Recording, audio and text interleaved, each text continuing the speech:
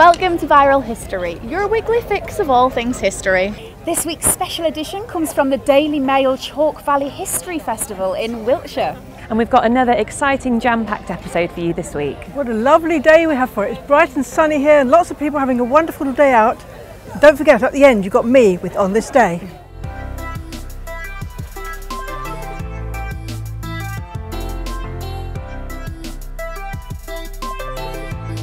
Now in its sixth year, the Daily Mail Chalke Valley History Festival is the country's leading history event, combining talks by prominent historians with living history displays that span the entirety of British history. You have this sort of slightly eccentric, uh, slightly mad sort of meetings of amazing historians, famous people, First World War trucks around us here, Second World War gun carriages, people firing black powder in the distance. If this place doesn't get you excited about the past and about history, it's never going to. We want people to come here and just have, be inspired and excited and have a wonderful time. One, go. And over the first obstacle. And under the barbed wire. Come on, this is a competition. I want to see the first person. Uh, don't get caught on the barbed wire. Keep your backside down. It's real barbed wire. And keep going, come on. Up over the balance beam, up over the balance beam. And under the cargo net. Keep your backsides down. And I know it's a big backside, you've got to keep it down. Through the tyres, well done, and over the last obstacle. Good effort, good effort. Well done, ladies. So, what is this that we're going through then? So I'm just cleaning the wound, Okay. and I'm cleaning it from the inside out. Oh, okay. So it's all about not touching the wound, keeping the germs at bay. And now I'm going to put a dressing on. Right. And now I'm going to put a bandage on to keep the dressing on top. Okay. So this will help the uh, dressing stay on, it will keep the germs out and it will apply pressure Yep. To the wound and stop it bleeding. Okay. Um, what are the most common types of injuries that a nurse would have dealt with? Um, it's probably going to be uh, shell or gunshot wounds. Right.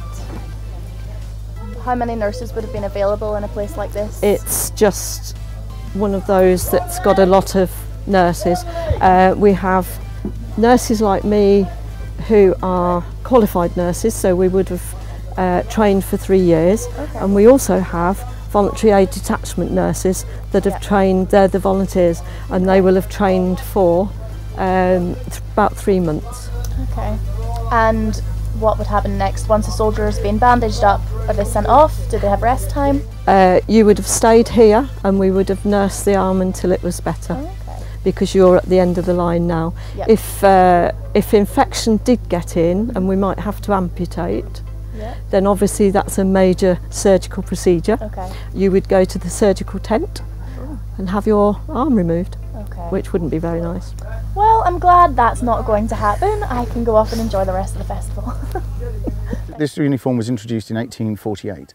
Prince Albert was involved in the design of this, but it basically um, it's, it's almost like a negative of the the, the state uniform, which you, you're quite right, was instigated uh, around about the time of Henry VIII. It actually is his dad, Henry VII, and he founded the Yeoman Warders, the Yeoman of the Guard, on the battlefield of Bosworth in 1485.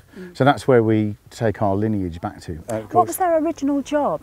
uh, the original book was to actually be as close as I am to you, to the king, to protect his person. Um, and, and we still have that role today. In, in, in ceremonial duties, our job is to bodyguard Her Majesty. Uh, and that's why they, they like to choose us fairly big. So, you know, um, it's, it's difficult to get to Her Majesty through us. You're you that correspondent? Yes, yeah. Come with me, we've got Jerry's on the bar. wire. Oh my gosh, what's happening?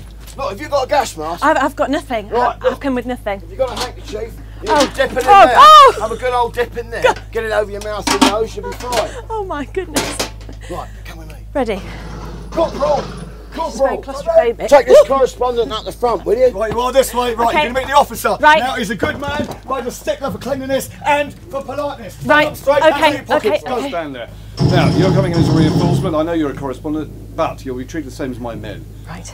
If you come back here without a serious wound or injury, I will have you arrested and shot. I may Okay. just personally do it myself. Off you go, Corporal. Right, this way, to the front. Off we go. You meet Sergeant Church. Don't wanna get Call him shot. Sergeant, he's not an officer. Sergeant, Down right, there, okay. Keep that head down, Okay, Jerry Simon's okay. very active. Go. Wiring boy, what time do you call this? Sorry, Sergeant, sorry. What time do you call this? Sorry. You're late. You're going over Terribly the top sorry. tonight. You're going over the top tonight. Take your randalls and your barbed wire pickets. Get out there on no man's land. Screw them in. Screw them in deep. Get that barbed wire out. Right. This Fritz is getting through. He's getting through, I tell you. He's jumping down in the trenches. He's stabbing. He's mutilating. Right. Havoc. Havoc, I tell you. Corporal. Sergeant! Sergeant, we've got issues. Fritz has broken through the line, we've got to flush him out. You, fix maintenance with me. Oh Don't God, stop! this is Plenty of crazy. Ready? Go, go, go, go! Go, go, go! Come on! Get out there! Go, go, go!